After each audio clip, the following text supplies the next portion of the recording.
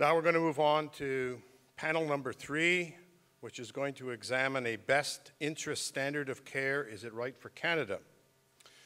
Our moderator for this uh, panel is Preet Banerjee, who is a Globe and Mail columnist, the host of Million Dollar Neighborhood, and a bottom line panelist on the National. Pete, uh, uh, Preet was originally uh, trained as a neuroscientist at the University of Toronto before joining the financial services industry. Uh, previously, as an advisor in both the MFDA and the IIROC channels, he is currently serves as a W Network money expert and he writes a personal finance column in the Globe and Mail. And he is the writer behind the award winning investment blog, Where Does All My Money Go.com, which incidentally was voted Canada's best investment blog in 2010 by readers of the Globe and Mail. He's also the author of Retirement uh, RRSPs, the definitive guide to registered retirement savings plans and charitable giving strategies for Canadians.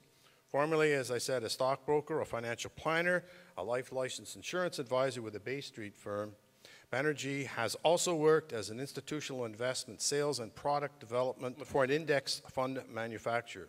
Advisor.ca named Preet one of Canada's top financial visionaries in 2011.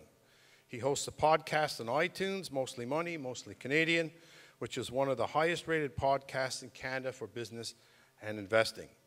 Preet, would you please come forward and introduce our panelists?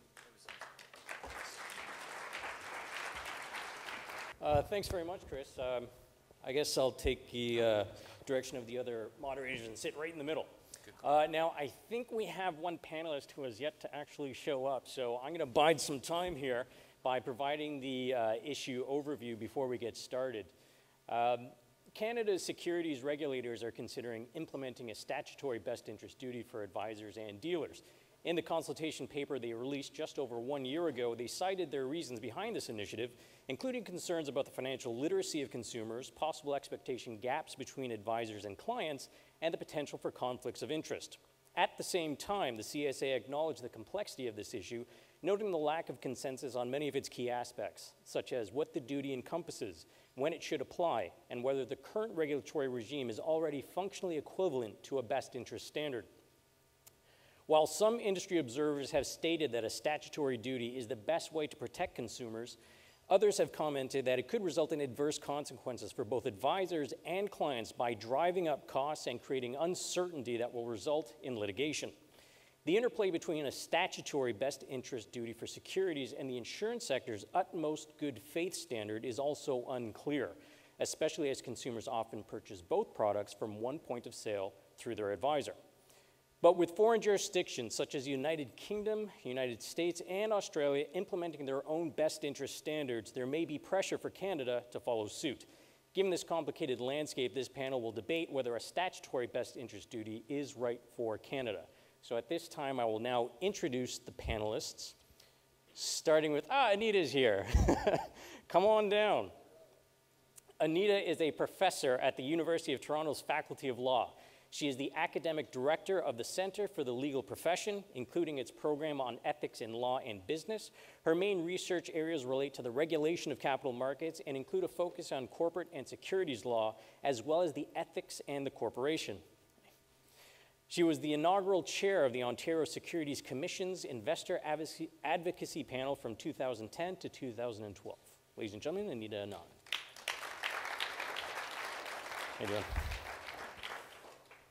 John De Goey. John is a vice president and associate portfolio manager with Burgeonvest Bick Securities Limited. He enjoys a national reputation as an authority on professional, uh, transparent financial advice in Canada.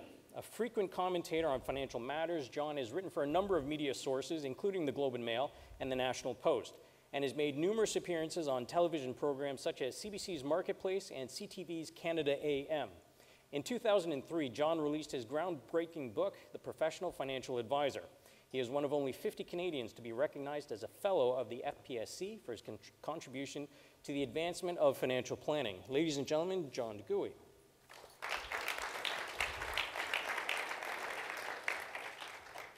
Jeff Hyland. Jeff is Assistant Vice President and Senior Counsel with Great West Life. He has provided in-house legal advice in the life insurance and securities field since 1986. He is currently responsible for the legal team providing services to the Wealth Management Division of Great West Life, London and Canada Life, Quadrus Investment Services, and GLC Asset Management. Jeff has spoken at a number of industry events over the years. Ladies and gentlemen, Jeff Highland.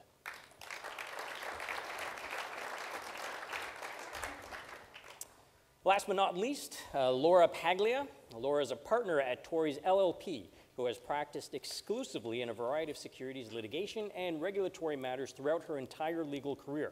She has represented numerous investment fund dealers, advisors, portfolio managers, compliance professionals, industry associations, and other market participants. So basically, everyone. Laura has represented clients in civil and regulatory proceedings before provincial securities commissions, the Investment Industry Regulatory Organization of Canada, the Mutual Fund Dealers Association of Canada, the Crown, and federal criminal authorities. Ladies and gentlemen, Laura Paglia.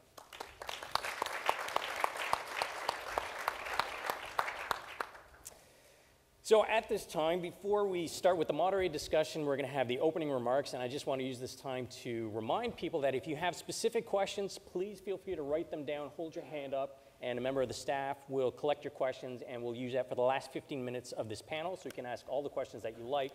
And I guess in order of uh, presentation, we'll start with the opening remarks. So Anita, if you will.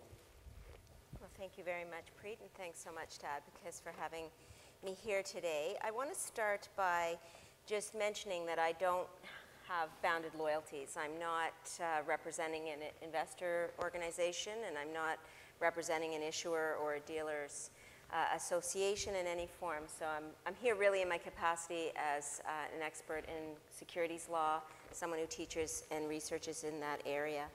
So the first point I want to make is that the law on this issue is unduly complicated and convoluted. The standard is cobbled together from provincial securities regulations, common law principles, industry requirements. So it is difficult to say when a fiduciary duty or best interest standard applies without evaluating each relationship on a case by case basis, which often requires a full trial in and of itself. And so, regardless of the outcome of our discussion here today, I want to make the point that the law is due up for clarification. Legislation should, in my view, be set forth to outline what the standard is so that there's more certainty in the law, so that investors and advisors alike can turn to one place to determine the relevant standard of conduct. My second point is that investment advisors are in a unique position in that they have steward chip over the assets of their clients. And in, the, in this respect, they're similar to other professionals in our society that have stewardship over financial assets. Think about the directors of a corporation. The board has a duty, a statutory duty, to act honestly and in good faith and in the best interests of the corporation. That's their duty they have the duty to abide by this standard set forth in legislation. Lawyers themselves have a fiduciary duty to act in the best interests of their clients. And recent case law in Strother from the Supreme Court of Canada says that this standard, this obligation, extends beyond the lawyer client relationship, that it extends even when that relationship has been formally terminated. So the question that I'm coming here today to ask really is why investment advisors should be different from others in our society who are held to that standard. Why is it that they, as individuals who have control over the assets, the financial assets of investors, should somehow not be held to a best interest or fiduciary duty standard. And I'm open-minded, so I'm not here with that, um, with the answer to that specific question, but I would be interested to hear why not. And then thirdly, some argue that imposing a uniform fiduciary standard will increase the costs of providing advice, negatively impacting certain business models. And I think it's true that more stringent regulations, just as a general matter, carry greater compliance costs, and that some of these costs may be passed on to investors. But I'd like to put forward the claim that investors pay a price for investi- investments that may not be in their best interests, especially given that the current standard falls short of a fiduciary standard. I believe that most investors would be willing to pay upfront a higher cost for the imposition of an explicit fiduciary duty standard that requires their advisors to place the client's interests ahead of their own in all circumstances. And that brings me to the definition of fiduciary duty, something which some might start out with, but that I'll end with. In my view, a fiduciary duty is a legal best interest standard. It's fairly similar to what a layperson would think. It includes acting honestly, in good faith, and putting the client's interests first. And many people, including people on this panel, will say, well, that standard is already adhered to by at least a majority of individuals in this profession. And I don't doubt that. What I'm saying is let's make it explicit and clear for the benefit of the market. Thank you, Anita. Uh, and uh, next, uh, John, your comments, please. Thanks. Uh, Preet, I, I guess I will also say what Anita said. Uh, uh, you know, the views that you're about to hear are my own. They're not necessarily those of my employer, so you know, don't, don't hold that against them. Uh, the other thing that I uh, would like to begin with is to get a sense of, um, well, the other thing that you should all know is that unlike the other um, panelists, I am A, not a lawyer, and B, a practicing uh, advisor. And so that gives me a bit of a different perspective, which I think is why I was invited to participate here today. So when studies are done and when polls are commissioned uh, with ordinary Canadians, and ordinary Canadians are asked if financial advisors are currently ask, acting in their best interests, um, over 80% of Canadians are of the uh, view that advisors are in fact acting in their best interests. So we have a majority in both instances. Uh, clients think they're getting it already, advisors think they're providing it already, and yet, as Anita has pointed out, there's this great gap in terms of the lack of certitude as to exactly where the line's being drawn and whether or not it it in fact exists. So because I am not a lawyer, I don't want to purport to you know, know exactly what the law is, but as a layperson who read the, uh, the CSA paper and commented on it, uh, my understanding is that the idea of uh, whether or not a fiduciary relationship existed looking backward in a non discretionary environment can only be determined by looking at the facts of the case. So, what I'm, what I'm wondering about is to the extent that there might be a lack of sophistication or a reliance, the, to, the, more that those things are, are present, the more is the likelihood that the court would, would uh, determine after the fact that a fiduciary relationship existed for liability purposes. So here's the question if most of you think you're doing it anyway, and most Canadians think they're getting it anyway, what's the big deal? It Seems to me that there's a consensus that if, if I were to ask you, if I were to give you a polygraph uh, test and say, Are you acting in your client's best interest? Most of you would say, Well, yeah, I am. And the clients think that that's the case as well, which is perhaps to your credit. But there's this presumptive gap where people think they're getting something which, based on common law, is not necessarily in the case. In fact, it is usually not the case. As Anita was, has pointed out, uh, the current uh, uh, standard of law, duty of care, is one of acting fairly honestly and in good faith, which means you have to make recommendations that are broadly suitable, but not necessarily in the client's best interest. So let me, uh, you know, give you an example.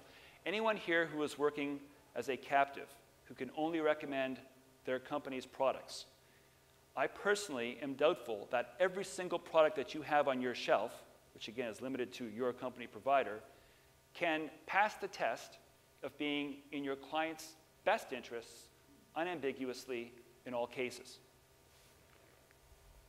I don't know that that's necessarily true. I don't know how, again, I don't know how to, how to draw the line, but I think there are things that need to be drawn out and need to be clearly explained. So I'm, I'm sort of making my original comments by uh, putting some comments out there, but I'm, I'm asking us all here to reconcile the gap between what people think is the case and what the current law says. How can we come together on this? Thanks. Thank you, John. And uh, next, Jack. Well, I'm going to join the club and say, hey, it's just my opinion, not my company. And for those of you in the audience who don't like Great West, I also provide legal advice to London Life. And if you don't like London Life, I provide legal advice to Canada Life and basically uh, anybody else that Great West Life owns from time to time. Um, I'm here, as I said, what I'm going to say is going to be my own opinion. I see this as an issue of who, when did you stop beating your wife? How do you say no to a best interest standard? Of course, All of us think that it's important that if you're providing financial advice to a client, you do so in their own best interest. If you don't do it, you're really acting at your own, uh, to your own prejudice. Um, I do think, I read the paper, I had the honor, well, dubious honor, dubious pleasure last week of reading every submission that was made to the CSA under this thing. Um, some of them I went through quickly, others I went through in more detail. I was really looking to see, because there are so many different opinions on this, I was really looking to see what, where are the threads? Where are people coming from? Where are the, for lack of a better word, agendas? What are people really trying to get, get at here? I read the paper. It's well written paper, but it's a bit muddy in a number of areas. I found, and I had to make notes, and if I grab these, bear with me. I'm sort of halfway between blind and not blind. Um, there are issues there where people, people don't know, or at least have different understandings of what fiduciary duty means. And certainly, I think everybody has a different idea of what best interest means, or at least has their own idea of what it means, and other people have a very different idea. That way, I think, lies madness, and I think that's the core of the problem we're going to have with this debate. A lot of the papers talked about serious issues with current fee structures and uh, issues with the comp model, that these inherently generate conflicts of interest. I'm not sure I agree with that. In fact, I'm reasonably sure I don't. I think that our, our entire financial services industry can benefit from a wide range of options uh, to service a wide range of consumers. Um, there was a number of papers, uh, particularly from the uh, investor advocacy group, that made the distinction, basically said anybody who recommends a managed mutual fund is, uh, is not doing their client a good service. The only thing you should really invest in are ETFs. I don't agree with that for a number of reasons, again, but it, it starts to show patterns in commentary. Titles. There's a lot of debate in these, in these uh, comments about advisors' use of titles. What's a fair title? That should be regulated. None of these things really tie into a fiduciary standard, but these are the issues that people were raising in their comments. Um, professionalism. Advisors should be professional. I think that goes without saying. I, I, I mean, I, that's one of these things I'm not going to disagree with at all. Advocis is a strong support. The other thing I'll mention too, if you get a chance, read the Advocis submission because it's a really good one. And I'm not just sucking up because they invited me here. And the last one that came up in almost every submission was I, I, I put it under the category everyone else is doing it. It's like all the cool regulators are doing this, so we should do it too. And no disrespect to the CSA on that point. I- really have concerns about that. Uh, Europe, the UK, Australia, all of the ones who have put into place these things or are in the process of doing so, have done so because of very, very significant issues that they had within their own financial services industries that we have not experienced to that degree in Canada. So I think you need to look at the history behind why these things were put in place in those jurisdictions and compare that to our background. Our, our structure is different here, our experience is different here. The US is looking at doing it too. The US also has concealed carry laws. I'm not sure we want those up here either. Anyway, um, follow the crowd, usually not a good idea. When people tell me everybody else is doing it and we should go do it, I usually walk the other way. It's just my nature as a, a bit of a pain in the ass. Anyway, I think I have seen no evidence of a core problem that's driving this. I really have seen none. I, uh, in my position, I see uh, almost all of the complaints that are levied against advisors for our companies in, at one level or another. Uh, I have seen none in 30 years that allege breach of a fiduciary duty. They all deal with things like, and, and, and you, can, you, can you can do a pattern. They all sort of follow uh, financial crises. If you all of a sudden, after 2008, a lot of clients who thought they were high risk investors found out they weren't. That thought they could handle a decrease because they never thought they were going to have a decrease. That doesn't necessarily mean it was bad advice, but there you go. Uh, so no, I, I, don't see evidence of a core problem. There's nothing in the paper that suggests that there is either. Um, the fiduciary standard does exist in Canada. It does apply to you. It does apply to you where it should apply to you. And that test will be done by a court based on all the facts that exist in your situation. And every situation is different. You can't apply this one standard to every situation. Every client is not the same. Some clients lie. i have seen predatory clients. I've seen advisors who have been ruined because of clients who take advantage of these situations if the advisor hasn't been cautious enough in how they manage their practice. So the bottom line on all of this, I think we, there are two things, two bottom lines. One, if we're going to go in this direction, and I don't think anybody here disagrees with this point, if you're going to go to a fiduciary standard, it has to be qualified, it has to be clear, it has to be set up in such a way that everybody who's subject to it knows what they have to do. If there's going to be a safe harbor, and there should be for different types of practice, then you should know how to sail into that safe harbor. There's nothing in this paper that tells you anything about that. And the last point I'm going to make is a lot of the, a, a lot of the, um, the comments that I read uh, were pretty negative about advisors uh, and about the financial services industry in general, including the companies that I work for. Um, I'm against I'm against the way this thing is being implemented or is being looked at right now, not because I think it's bad for my company. I, I actually think it's bad for Canadian investors. I have really serious concerns about the access to product for the middle market in Canada. If fiduciary standards go into place, or, or if these, this fiduciary duty goes into place, because it will impose costs, it will impose risk, it will impose fear. And I think so- a lot of low-income clients are just not going to have access to advice because there's too much risk involved. That's the concern. Anyway, I'll pass it on, sorry. Probably took too long. It's all right, thanks, Jeff. Laura? Um, So I'm going to try to incorporate what I originally had to say with some of the comments that I've heard and combine them all into one. I, um, I've been following this public discussion and I've had some views on it. And what I wanted to talk about today is what I see currently as to the trends that are emerging from, from this discussion. And one very clear trend that I see, and I, I heard snippets of it through what you've just heard from the panel now, is you know, the concept of best interest and fiduciary, and by the way, as a lawyer, those terms are interchangeable. When you say best interest, lawyers hear fiduciary, it, they're almost synonymous. Those concepts, I believe, are being defined in many different ways by many different people, and we are, in Canada, skipping over the definition part.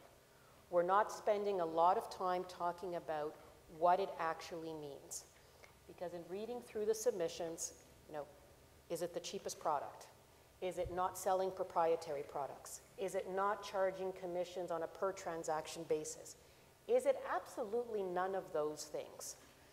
Um, where Anita and I see things differently is I think, as far as the courts are concerned, they're quite lucid on this concept as to when a fiduciary duty arises. And courts see a fiduciary duty arising when you have a very dependent, vulnerable client, or when you are exercising discretion, meaning there is no client input whatsoever. The concern that I have is imposing legislation. It's not clarifying the law, it's ignoring the law, it's rewriting the law.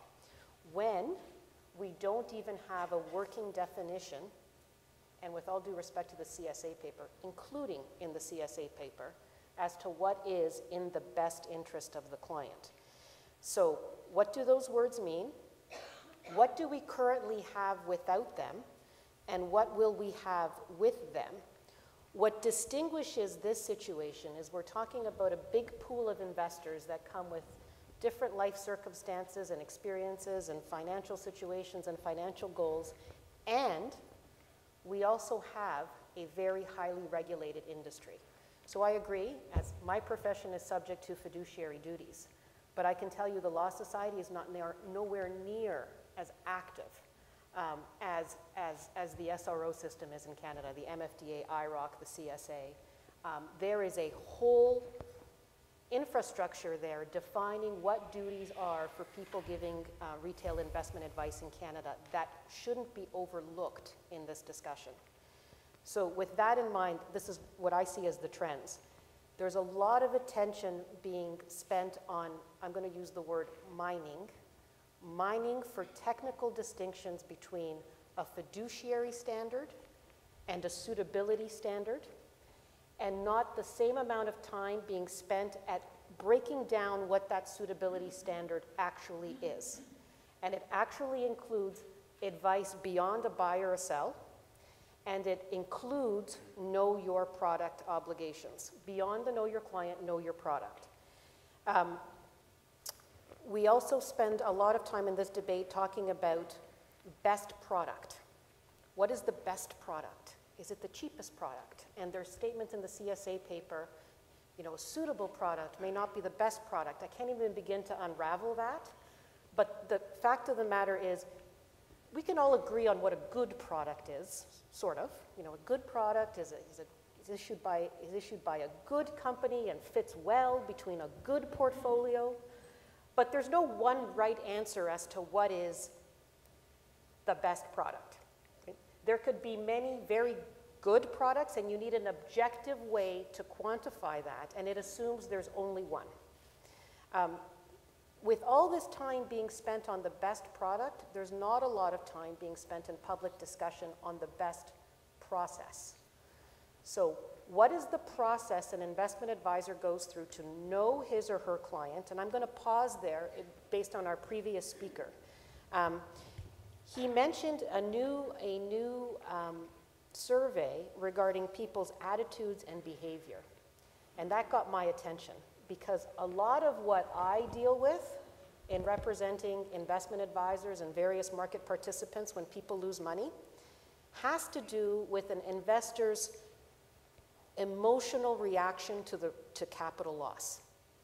Yes, their ability, their financial ability to afford the loss, but also their emotional reaction when that happens. So, going back to are we spending enough time on process? The know your client process and the know your client know your product process. Because what we seem to be agreeing on in this debate is we don't want this to turn into looking at the best outcome. In that we don't want this turning into did the advisor recommend something that happened to have made money? And it runs a real danger of having that aspect to it at a practical implementational level.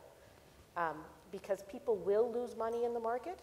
We cannot take the risk out of the market, not even for the small investors. And we need to own that in how we implement these discussions. Um, the, the other trend that I notice is a lot of talk about conflicts of interest and managing conflicts of interest. And I find that curious because, as an industry, as a highly regulated industry, there are a lot of rules in there about managing conflicts of interest already. And those rules specifically speak to the best interest of the client. So, are we paying enough attention to what's already there? Number one. Number two, are we assuming that the presence of a potential conflict means it will be actualized in every circumstance?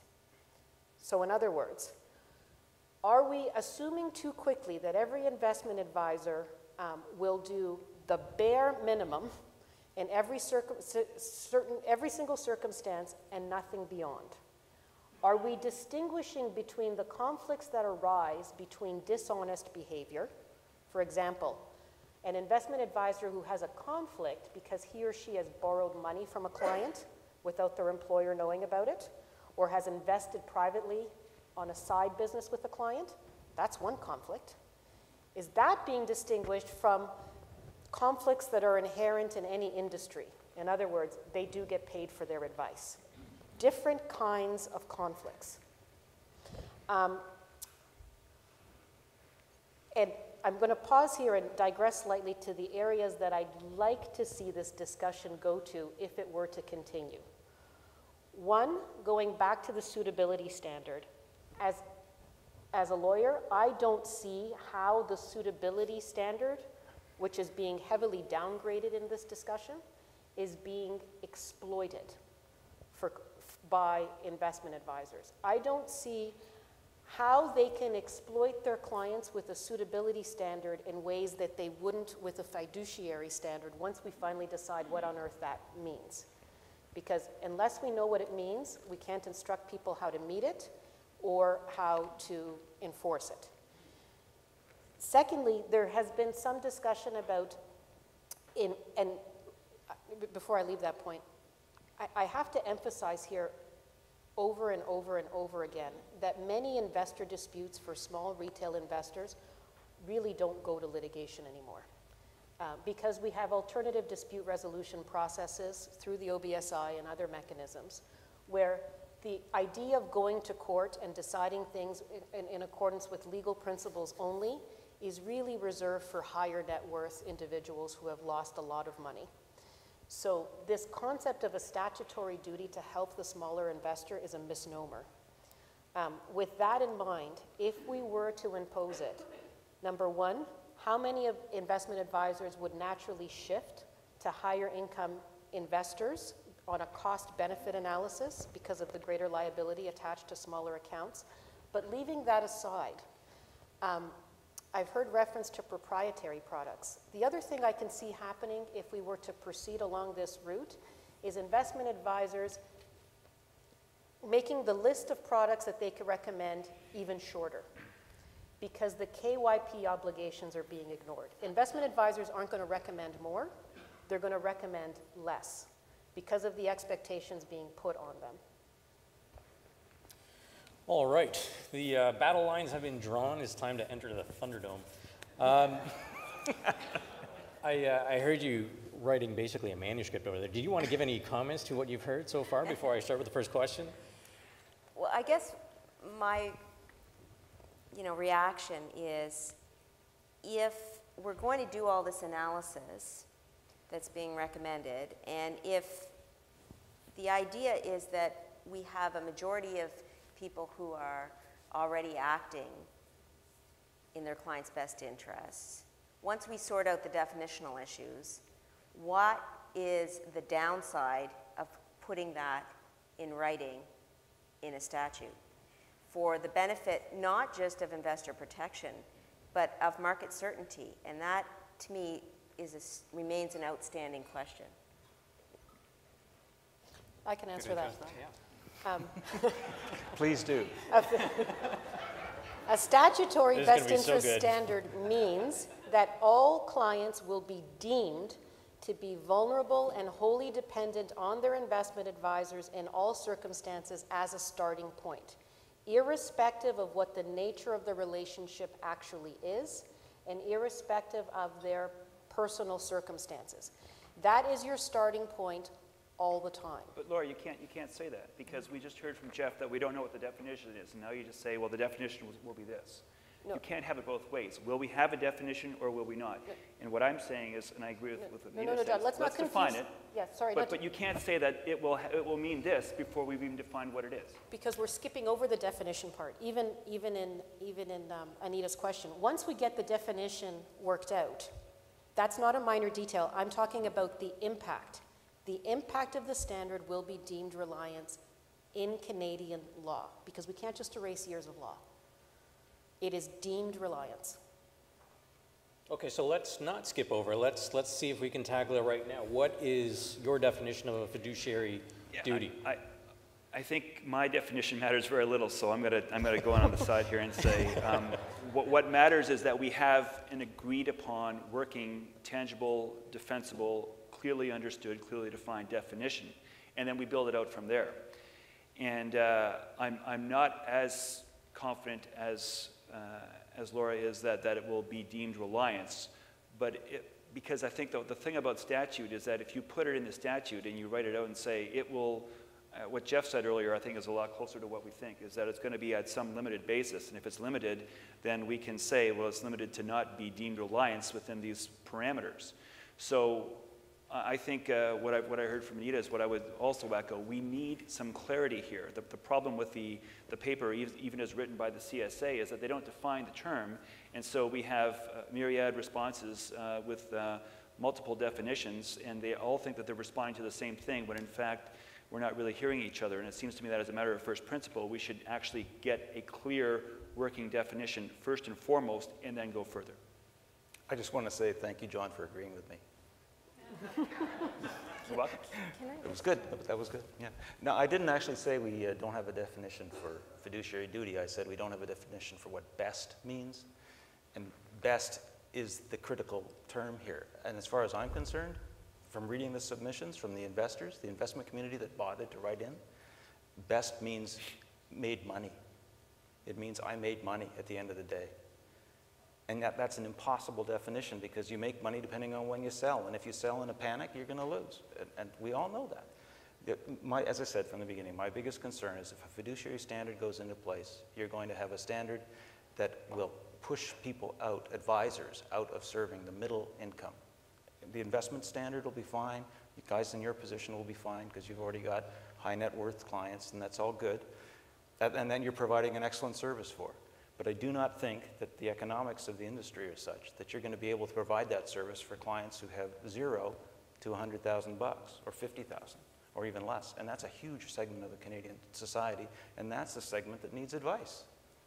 So whatever model you, we wind up with, whatever definition, uh, whatever sort of, um, what do you call it, qualified definition we come up with, it has to allow that structure that we have currently in place to survive. Can I just, I, have a, a bit of a question, I guess. The IEF has put out a stat that it found that 70% of investors believe that they are protected already by a best interest standard. Okay, so the view among the investing population seems to be, by and large, that they have a legal protection that is not currently afforded to them. So that's an argument in favor of my first point, which is greater certainty. But the second point is, do you not think that clients are going to be willing to bear the cost that will be imposed on them by the imposition of the duty? No, absolutely not. No question. Okay, Absolutely so not. Once again, we have no definition. We, we, we have no way of knowing, A, whether or not there even will be a cost, or B, if there is a cost at all, what that cost will be. So how can you know for sure what that's going to be? I personally think the number is, is very close to zero, but for purposes of discussion, let's say five or 10 basis points in total cost as a result of bearing the additional uncertainty and liability associated with the best interest standard. I don't think of that as being a deal breaker at all. And I think there are additional benefits that if you work with an advisor who, as a result of uh, having a fiduciary standard, doesn't take a, a commission, might charge a fee, that might be, might be deductible, which will probably get you the five or 10 basis points back and then some. Um, there might be other opportunities to, uh, to have greater transparency, which has some monetary value of and by itself, just because there's greater certitude. There might be some, some room for scalability. There are a number of different things that you could get as a result of uh, as part and parcel with, with being a fiduciary. So, and I think the other thing about price is if, if in fact my hunch is correct and the price is so nominal as to be nearly zero, I think it's preposterous that people are suggesting that uh, the middle market is going to be underserved. Look, let's hold everything constant. The advisor is the same advisor, the client is the same client. It's the same product in the same proportion, but instead of earning an embedded compensation, for instance, we could actually charge a direct fee. That's not necessarily, that's, that's the compensation uh, question as opposed to the fiduciary question, but I see them as being two sides of the same coin. If everything else is constant, why should the advisor compensation be constant and why should the cost of the client be different? Everything is going to be the same. So instead of earning X number of dollars in a commission, you earn X number of dollars in, in, a, in a transparent, possibly deductible fee. But no one, absolutely no one, who is currently being served by an advisor has been priced out of the market. By definition, if they can be served under the current price structure, they can be served under the other price structure. So to that point, perhaps you could run down where you believe the extra cost would be incurred. I was just going to say, people have a choice now. And if they have the choice under your argument, everybody would be taking fee for service, and they aren't. The vast majority of them are. I mean, not the vast majority, what is it, 60%, 70% of Canadians aren't doing fee for service? And there's a reason for that, particularly for, the, and I suspect the numbers are even higher if you just segment the population into, into uh, income bands or into asset bands. That the lower the asset band, the, the, the higher percentage of people are in embedded fee structures. It's because that's what they want to pay for. The other thing I just, when I think about this, I remember back when, when the uh, GST was introduced and how many Canadians just hated the GST. And it wasn't because they had to pay tax, because they had to pay tax before when it was, the, uh, when it was at, at the, uh, the factory level. They hated seeing it. They hated calculating it. They didn't want to. There's sort of a psychological thing about having to have that discussion. You don't want to do it. I just I'm quite happy to have it paid for out of out of the, my returns. But, If but it's that's a different thing, though, if Jeff. What we're Yeah, talking about wait, is, uh, did they like it? No. point- But did they pay it? Hell yeah, they had John, to. hold on one second. So your, your point's well taken, but however, my question was, can you give a rundown of what those extra costs would be? What the extra compliance costs? What would generate the extra cost that the investor would have to bear? It's not so much an extra cost. What, what I'm saying is, if you changed the model and got rid of the embedded compensation model, which a lot of the arguments from the, certainly investor advocates are in favor of that as being, if you, embedded compensation is inherently a breach of your fiduciary duty, which I would argue against, but that's the argument. Then you get rid of the embedded compensation. All you've got is fee for service. Fee for service or direct serve yourself. So you've got high net worth clients who can afford to pay. They already are taking an advisory uh, fee for service model. You've got some clients who think they're investors, think they know what they're doing, or actually are. They're doing the online brokerage. They're doing direct self-service. You've got the vast middle market who don't know what they're doing, who are likely going to be severely prejudiced if they try to play that game. They need advice.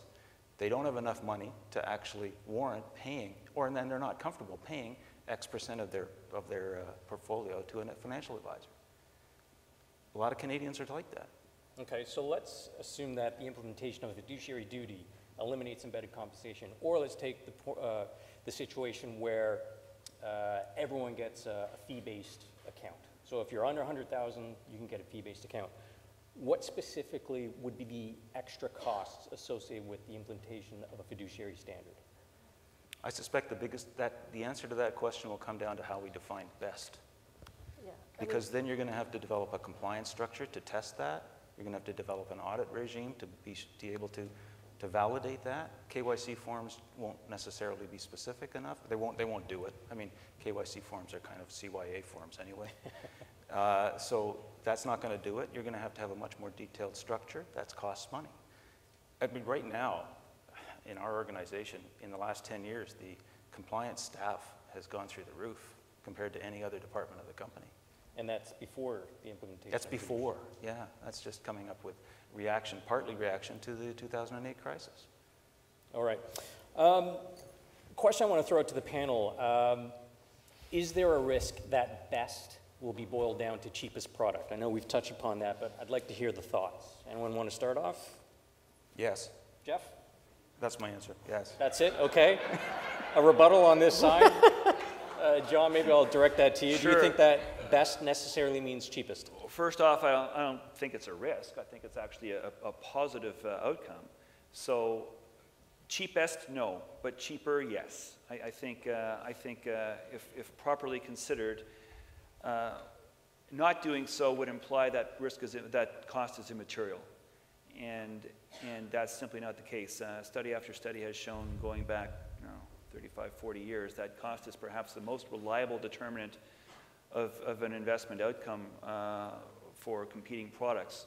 So to make a recommendation with no consideration to the most reliable determinant of what your outcome is going to be strikes me as being uh, perverse and, and clearly not in the client's best interest. I don't believe it need, means that it has to be the lowest cost, but I certainly think it means that cost should be part of the equation. Or did you want to? Well, you know, I, I agree that cost should form part of an advisor's recommendation. So, yes, when you're recommending various products, you should consider the cost of the product as part of your overall recommendation. Um, but that, that's been the case for many, many, many years, and I don't think the industry's disputing that at all. Um, where is the problem here? Is it that you recommended a more expensive product that didn't ultimately perform? Because, because as long as your product made money for the client, I'm not sure we're going to have an issue. I think the real risk here is best product is going to equal profitable product. And when it doesn't equal a profitable product, we're going to have a discussion about whether it was the cheapest product in the world that you could have recommended. Right, and just be clear, profitable to the investor. Nita? Well, I guess, let me just take it one step further and say, this is something that can be dealt with in the drafting of the, of the fiduciary standard. That other jurisdictions, Australia, for example, has countered this potential problem by incorporating reasonable steps defense into its best interest standard. It's also made explicit that best is to be assessed objectively in um, ex ante. So I don't think that what I'm hearing today are in and of themselves reasons that we shouldn't be considering a standard that other professions are held to when, they're ha- when they have stewardship over the livelihood of other individuals. I think the key issue, I mean, it, I was a bit flippant in my response, but I still stand by it. Uh, the key issue isn't so much is, is the lowest cost going to be the end result. The key issue is when do you do the test? And if we start having, if we develop a structure that you have to do the test at the end of the day, that's a problem. Because how can you give advice that will be tested 5, 10, 15 years out during a crisis that you can't predict for? And you can't do that. The paper talks about, well, we shouldn't do that, but again, a lot of the commentary was all around, I don't want to lose money, I shouldn't lose money. And uh, advisors, they're smarter than I am, and they should know what they're doing, and they should only put me in something that's going to make me money. Securities law and corporate law is full of principles that direct and form the basis of our law. The public interest standard is one example. The duty of the board to act in the best interests of the corporation is another example. And simply because there's some ambiguity in how this principle will play out in each and every case, in my mind, doesn't mean that we should be shying away from it. Securities law has not shied away from those types of standards to date. And it seems to me to be wholly inconsistent to say, well, we don't know how it's going to play out, we don't know what the costs are going to be, and we shouldn't be therefore considering it. That's not what I'm saying. I'm saying you measure it at the end of the day. If that's the test, that's a wrong test. No, but, but she said that the test is, is applied ex ante, right, before you even buy the product.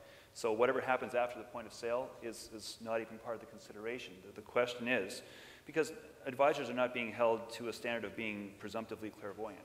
It's not as though anyone can know. And by the way, high-cost products and low-cost products can both go down in a, in a dropping market. So it's not as though there's not liability, irrespective of which product you chose on the basis of cost. You're still liability. So, uh, but the ex ante uh, argument, I think, is the important thing to, to uh, bear in mind here is that did the advisor make a recommendation that, uh, well, let's, let's put it this way, not knowing what the future holds seemed to be in the client's best interest at the point of making the recommendation? And if that can be deemed to be, uh, have, have been done, we're fine, move on. Nothing to see Deemed, here. but excuse me, deemed by whom? So Anita's mentioned, Anita's mentioned securities laws, and she's made reference a few times to directors and officers and their fiduciary obligations. Those fiduciary obligations, and what that is, is if there's, there's statute, um, the Canada Business Corporations Act, the Ontario Business Corporations Act say directors must act in the best interest of the corporation. So remember, best interest means fiduciary to lawyers. Yes, but that is further qualified in the statute and further amplified by case law. And in a nutshell, the courts have held we will give them deference, uh, we will give deference to the business judgment rule. If they can sh- reasonably show that they had good process and that they were responsibly exercising their business judgment, we will not intervene. Um, at a practical level, I, I, don't, I don't think we can say that that is being that will be implemented at the retail investor level for small accounts. Number one, is it a court that's looking at it? Number two, is that the analysis? Um, are, are those are those the principles that will apply? Um, remember, they don't, they don't go to court. Um, there's been no talk of what else would be in the statute. And, and the, other, the other part of this is we're talking as if this statute is coming in to fill a hole because the duties of investment advisors aren't otherwise defined. They couldn't be more defined. We have so many duties of investment advisors, we have rules, we have guidance notices apart from the law. What about those? So when we're asking investors, do you believe that your investors should act in their best interest? It's, it's in many ways a meaningless question because we're not telling them first, these are the duties that your investment, investment advisor already has to you. We're not informing the question. We're not defining best interest. You will get the same answer if you ask investment advisors. It's a, a question that has a lot of form, but not a lot of meat. So, I- On that point, just before you get, I- before I pass it over to you, Anita, I just wanted to respond to something that was said earlier, and I think you said it. It was the, uh, I think it's the expectation gap between investors and advisors. That investors think, some 80% of them think that the client, advisors have their best interests at heart or give advice in their own best interest. And some large percentage of, uh, just judging from what we had today, some large percentage of advisors feel the same thing. I- I am not sure that when you ask the question of, of individual Canadians, do you think your advisor has your best interests at heart, that they are thinking of this in a legalistic stand, uh, from a fiduciary standpoint. They're thinking of it, is my advisor thinking about me? Is he actually giving advice that he thinks is going to be best for me, given my circumstances? That actually is the standard. That's the standard that advisors are held to under all the rules that apply. And that, that and frankly, to, to jump to a question that comes later, that's the standard for insurance as much as it is for, uh, for securities. So we've already got this in place. I think the, part of the problem is, I really think part of the problem here is the terminology that we're using. We're using best, best, best interest. And we're interpreting it as lawyers, the three of us, uh, as being the fiduciary duty standard, which is a fairly significant change to the role between advisors and clients. And it's certainly, I think, a big shift in the, um, the burden. It's putting all the clients in one box. All clients are suddenly vulnerable clients who need protection from predatory advisors. And I just don't think that's true. So I think part of the issue that we're dealing with here is terminology.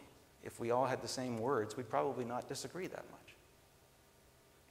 Did you want to respond to that? Well, I, I, I think we should be aiming for clarification on terminology. That's what lawyers make their bread and butter from. but apart from that, um, you know, when I'm teaching securities law to my students, I start out with Section 1.1 of the Ontario Securities Act.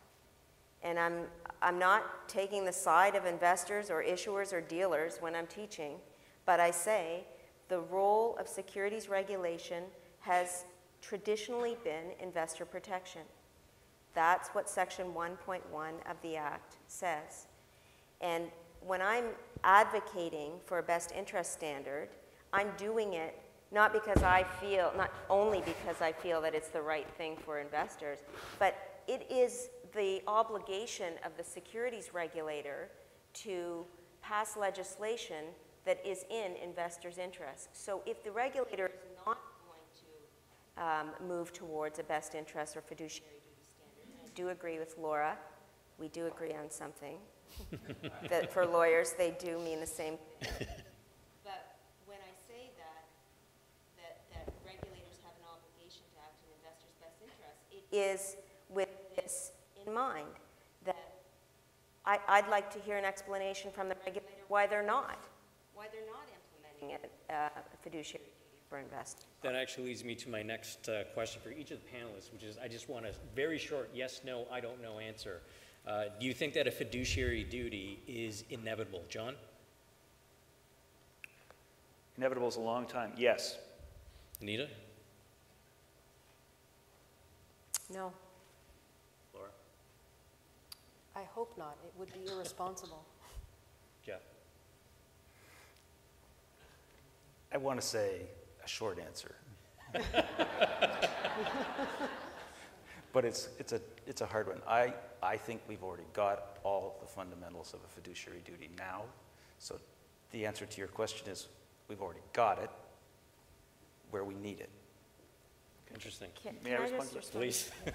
Please. Well, if we already have it, put it in the statute. No, where we need it. No, where He we said need it, we've got it. Where clients need protection, it's there. It's been built up They, over hundreds they're of years. assuming they have their interest protected by a fiduciary duty standard, as far as the IEF says in any case, um, with the 70% stat, but they don't. So, to me, there's a gap No, they're between assuming that their expectations. advisors are make, are, have their best interests. It doesn't mean that they're assuming they have this fiduciary standard. That's the difference. Again, it's language. They don't understand the question. And whether they understand it or not doesn't necessarily mean, just because every, just opinion poll tells you you should do this, doesn't mean you should do it.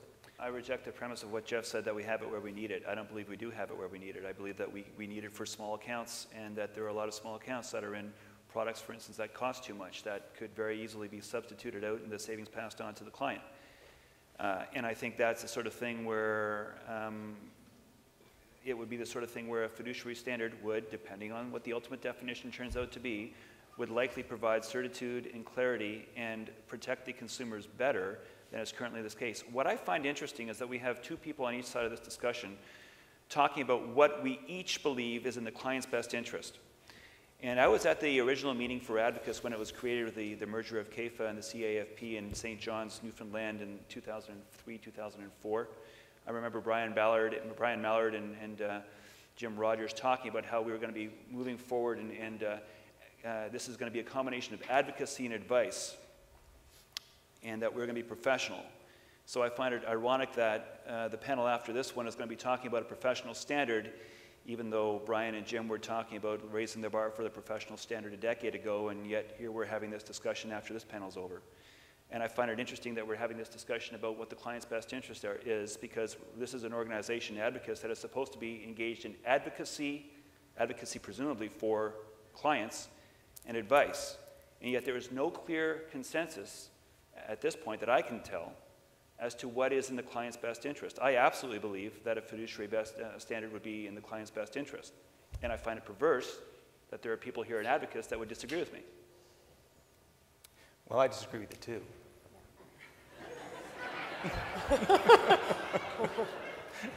I mean, It's hard to, to believe in a standard you can't define. Yeah. So, you know, that's part of it. The other part of it is, frankly, I, I don't think that the concerns that we're expressing on this end of the table are, are just false, made-up worries to fearmonger. I think they're real concerns based on uncertainty and a and la- complete lack of clarity in this debate. I think if you're talking about coming up with a rule change that imposes fiduciary duties across the board for all client relationships, no matter what the real facts of the situation are, you think, and you think that's protecting investor interests, when in fact what the end result of that could be the elimination of advice services for the middle market in Canada, I think you're mistaken. I think you're eliminating investor protection. I think that's the biggest concern. And I haven't seen enough debate around that. I haven't seen enough evidence to say that that's wrong. That's a real concern. And it, it's kind of like the nuclear option. I mean, if it's a, and actuaries all talk about the 99th quintile and all that stuff. It's, it may never happen, but if it does, it's terrible. That, I think this kind of falls into that category. So if we're going to go this route, then really a lot more work has to be done rather than just this paper. And frankly, other than the Advocis paper and the one that we wrote, uh, you know, uh, there's a lot of less than stellar uh, commentary on this. Now, uh, on this side, you've stated that the fiduciary duty essentially exists where it needs to be today. So is there a possibility of formalizing it where it needs to be formalized today? Would you have an issue with that? it is already formalized where it needs to be formalized. And where is that specifically? in the case law, Well, I- because you can't, you can't have a uniform statute, statutory standard in this industry that applies to everybody. That's the problem. You cannot have three sentences that apply invariably to the multiple forms of relationships that can exist. So you are, you are stuck with a fact-based approach because the facts are always different. It is formalized. But, I mean, in many instances, what we are having is a false debate because there's many instances where, where we agree. Of course, we agree on the professionalism of those giving investment advice. Of course, we agree they should be held to high standards. Of course, we agree that costs should be reasonable and part of the investment advice. Of course, we believe on performance reporting. I, I mean, there's, there's a lot that we agree on. It's just be cautious of extreme unnecessary positions. Okay, and at this point, we're about to enter the Q and A phase, so if anyone does have questions that they want to submit, please write it down and staff will bring it over. Uh, and as I'm getting those questions, I'll leave one last question um, for this part of the discussion. Uh, and that is, and you've touched upon it, Jeff, how would a statutory best interest duty on the security side square with the insurance sector's utmost good faith standard, since consumers often deal with one advisor at their point of sale uh, for both securities and insurance products? Anita? Well, I think there, that, that's a key question in my mind. It'd be very, very difficult to, to sync those. There's already an existing, um, you know, standard, and we don't have it on the other side, and so we're going to have to ha- do some, that's where I think some of the hard thinking is going to have to come. I, I mean, I'm in the insurance industry. Um, I don't see any difference between the two standards that currently exist. They're exactly the same. There is no difference. And both, both standards. Now, there's a difference between having a standard and enforcing the standard. There's a difference between having, like the Russian Constitution, most beautiful constitution, fairest one in the world. Soviet Constitution, sorry. But in practice, didn't really work very well. Uh, same thing here. If you could have the, great, the best rules in the world, the best standards, and we have, have them throughout both, both industries, if they're not enforced, that's a problem. That's a problem no matter what. So I think there is some room for improved enforcement without question. We- also have good faith language in securities legislation already. And the difference, I mean, this is why in some, we, we, we're having an esoteric academic debate in many regards. The legal definition between good faith and best interest is good faith recognizes that there is a commercial reality that you're paid for, but you must do the right thing. Best interest at law is you are not to have any regard to any commerce. Okay, that's what we're arguing about. So that's why I mean, this, this conversation needs to have airs of reality to it, and we need to move away from words. Can I just make um, one point about the whole thing with common law? The case law takes care of best interests, and that's, that is an argument that's made quite frequently um, by those who believe we don't need to implement um, a fiduciary duty. And I come back to the mandate of the securities regulator. The securities regulator's role is investor protection. Whether or not the case law is doing the job or has set down the standard is not, in my mind, sufficient. Case law emanates from an, an ex post examination of the facts. It is not an ex ante standard that guides behavior in the first instance. That's the difference between case law and statute. So which securities regulator are you referring to? We have many of them. True. Um, And those that are responsible for the distribution of retail advice, I'm suggesting, have done a very good job of informing that standard. Are you referring to the CSA, the OSC? The CSA has no um, mandatory powers. It has no ability unless individual jurisdictions implement, implement the legislation to impose it. So definitely not talking about the CSA. Um, individual securities regulators is who I'm talking about right now. And so in my mind, case law and courts can continue to do what it has, which is to examine cases after the fact and decide whether fiduciary duty um, exists in this circumstance. What John and I are talking about here is something completely different from that ex post analysis. And, and so am I.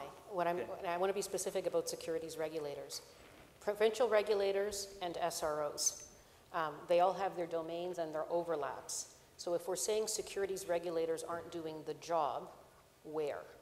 And this is an example of where we say, where I say the debate is lacking.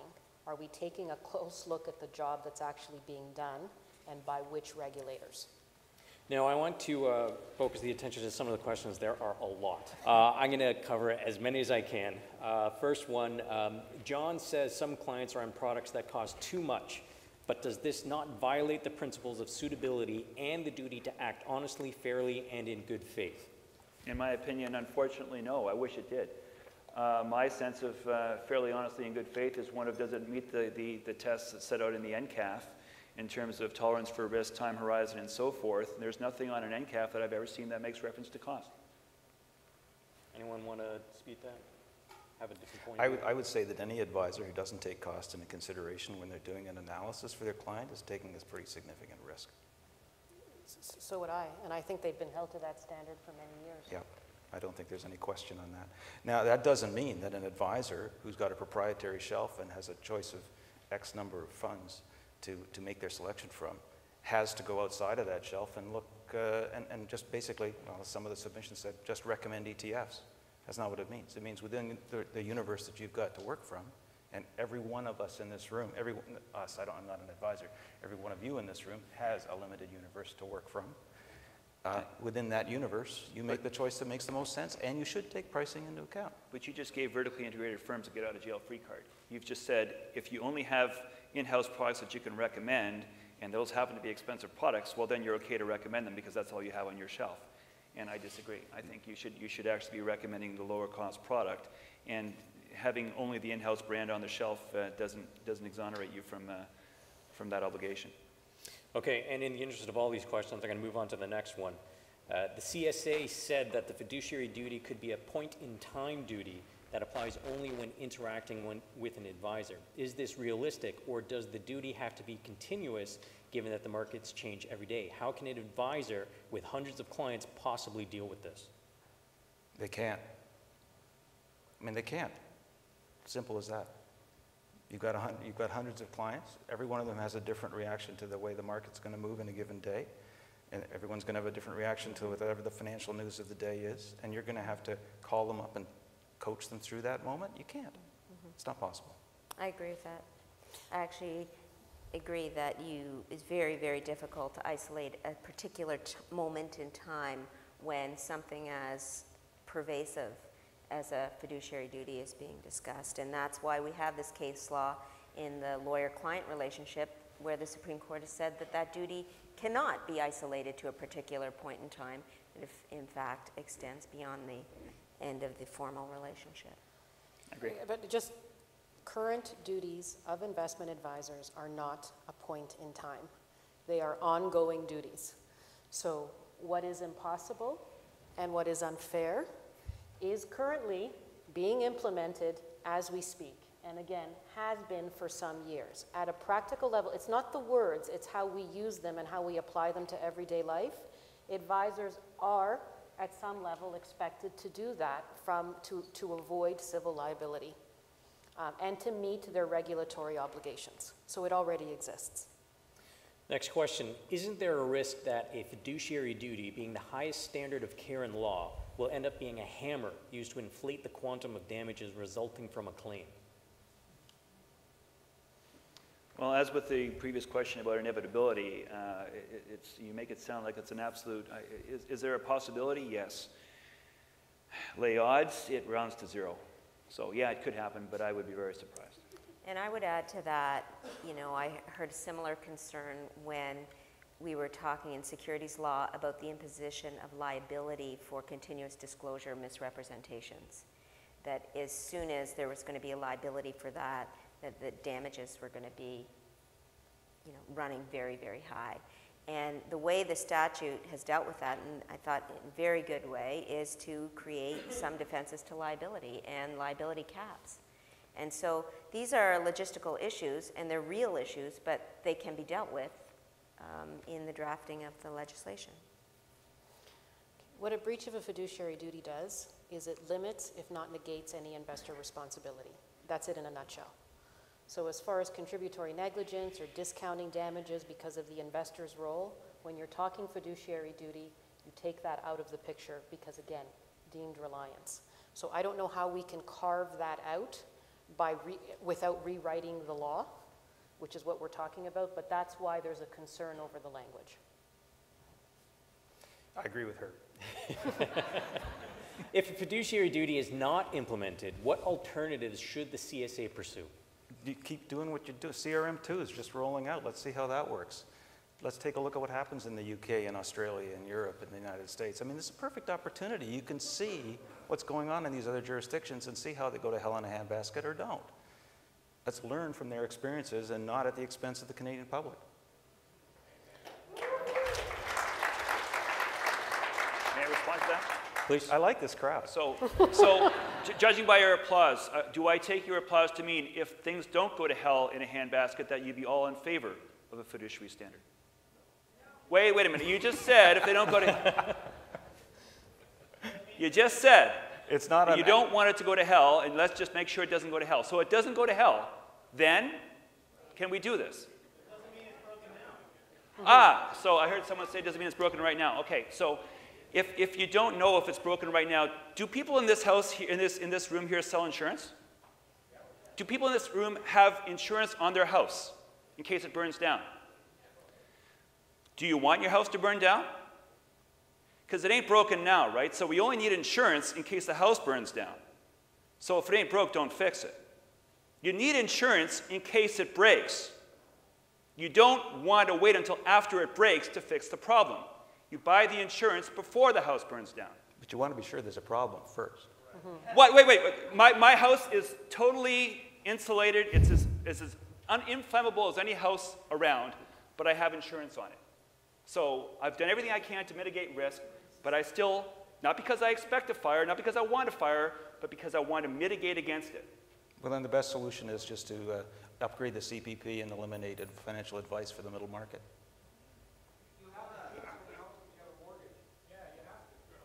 Well, can, can I just answer the question? The question is, would you like to see any other reform? And I addressed that right at the beginning of my remarks, which is the law needs to be clarified. Each and every one of us in this room and on this panel have indicated some lack of clarity in the current, even the definitions that we're tossing around, fiduciary duty, best interest, et cetera, I think the regulators have a role to step up and tell us what the law is. If it's reiterating current law, that may not be my preference, but I think that's high time that that's done. The debate's gone on long enough. When I started chairing the investor advisory panel in 2010, we were arguing that the OSC needs to clarify the law. And I continue to make that same comment in 2013.